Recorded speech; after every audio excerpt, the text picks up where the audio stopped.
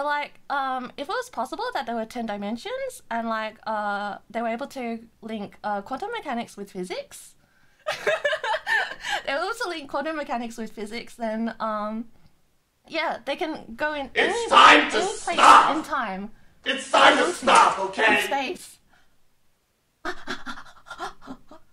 Ah. And that and that's like kind of what string theory is. It's like there's other things like um everything everything is like a vibrating string and things like that. But like yeah, that's that's I I found I like noticed that when I watched this film because I'm a big, space nerd. No, it's it's really fascinating to hear all this because uh my uh knowledge in space is uh quite limited, so